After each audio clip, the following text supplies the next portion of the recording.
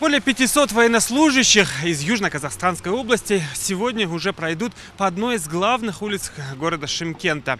Стоит подчеркнуть, что наш регион является южными вратами нашей страны. В нашем регионе действует 10 военных структурных подразделений, подведомственных гарнизону Шимкента, которые обеспечивают сохранение спокойствия и целостности границы Южного Казахстана.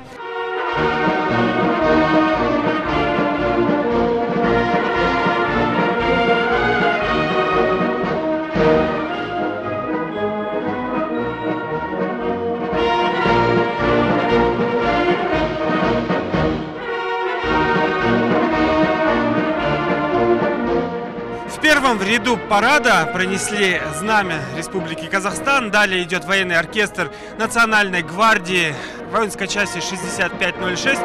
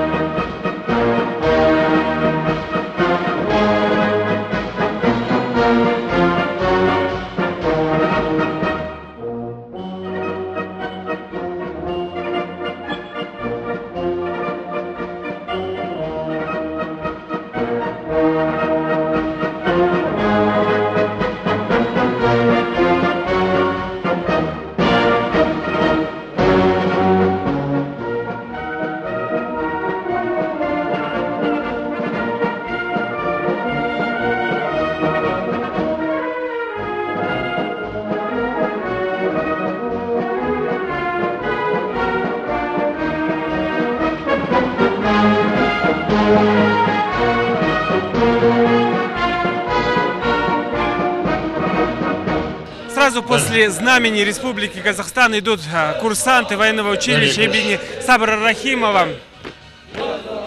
Курсанты напевают патриотические песни. Ну а следующими, вы видите, идут военнослужащие Национальной гвардии воинской части 6506. Сегодня уже после завершения парада в центральном парке нашего города пройдет праздничное мероприятие.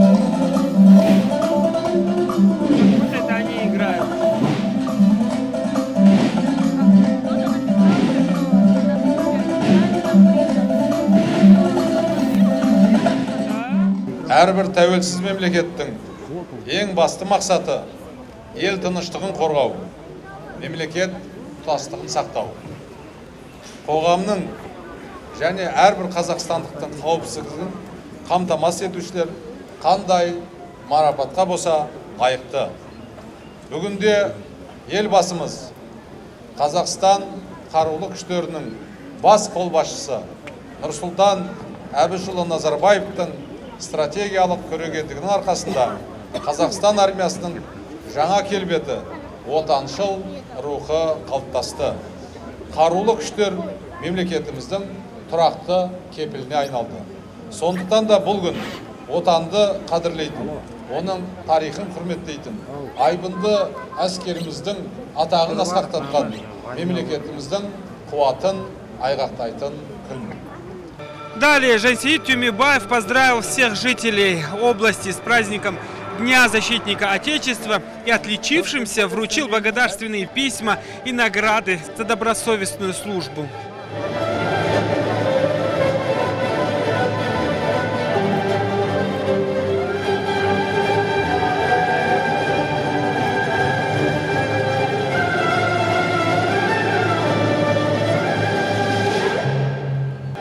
Жеті де төртінші мекемесінің бақылау қызметі бөлімінің іс жолақ бойынша бақылаушысы.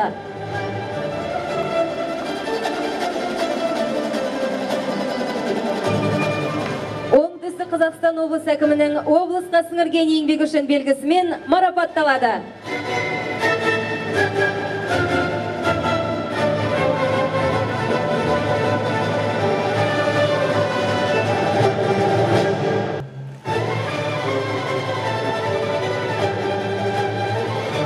Қазақстан облысы әкімінің облыста сіңірген еңбегі үшін белгісіменен Байзатов Тұрарбек Тұмарбекұлы наградталады.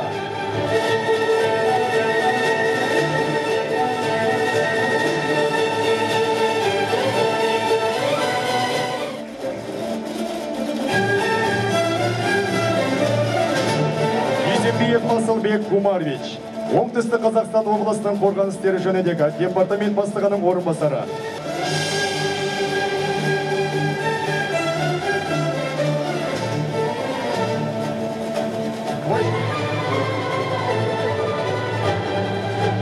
Еліміз тыныштығымыз аман болсын, әрбіріңіздің істеріңізге сәттілік деймін.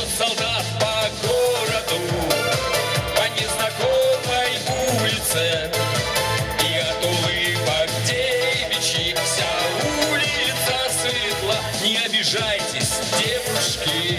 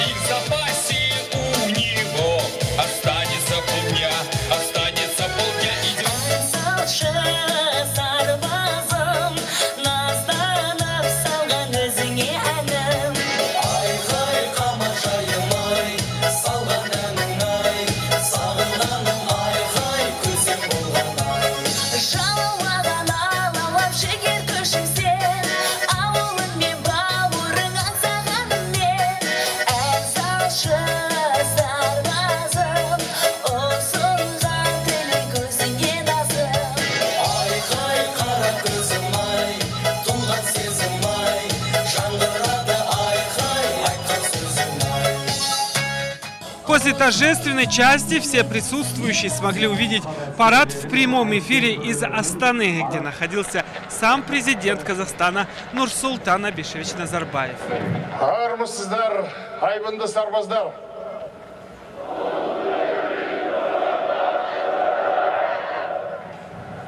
құрметті отандастар сардарлар мен сарбаздар ел тәуелсіздігімен бірге биыл қарулы күштеріміздің 25 жылдық мерекесін атап өтіп отырмыз.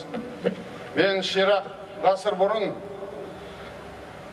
тәуелсіз еліміздің төл армиясын құру туралы дәл бүгінгі күні жарлыққа қол қойғанмын. Содан бері аз ғана уақыт өтсе де қарулы күштеріміз қаруы бес қаруы сай заманауи үлгідегі айбынды армияға айналды. Сайыпқыран сарбаздарымыз бүгінде ұлы даланың сенімді қорғаны азаматтығымыздың алмас алдаспаны біз қазіргі заман талаптарына сай келетін әлеуетті әскерімізді жасақтадық ел қауіпсіздігінің басты бағыттары айқындалды әскери доктринамыз қабылданды экономикамыз қарқынды дамыған сайын еліміздің қарулы күштері де жетіліп нығая түсті. Әскери қауіпсіздігіміз қазақстан 2050 жыл деген бағдарламаның басты бағдарларының бірі болып саналады. Жауынгерлеріміз әлемнің әр түкпірінде бітімшілік миссияларды өзіне алып абыроймен ақтап шықты. Біздің әскеріміз тмд мемлекеттердің ішіндегі алдыңғы қатар әскер ретінде танылды. Қымбатты отандастар жерінің тұтастығын ойлайтын ел жұртымыз бейбіт өмірді баянды бақытқа балаған әр уақытта. Біздің тарихымыз өшпес ерліктің жылдамасы жеңімпаздықтың шежіресі екенін білеміз. Баһадүр бабалардың ізбасарлары қазір тәуелсіз қазақстан әскерінің сапында бүгін тұр. Жауынгерлік тәрбие әскери киіммен емес жүргек жөргектен басталады деп батыр бабамыз бауыржан момышұлы айтқан болатын. Жерінің қауіпсіздігін елінің тыныштығын қорғау әр азаматтың қасиетті парызы абыройлы міндеті болып саналады. Сіздер еліміздің шекарасы берік шебі бүтін болу үшін қалтқысыз қызмет етіп келесіздер. Бүгінде қасиетті жеріміз көкте де жерде де суда да сенімді қорғалатынын біз көре алатын боламыз. Қазақстан альянстың бүгінгі салтанатты шеруі осының айқын көрінісі болып табылады.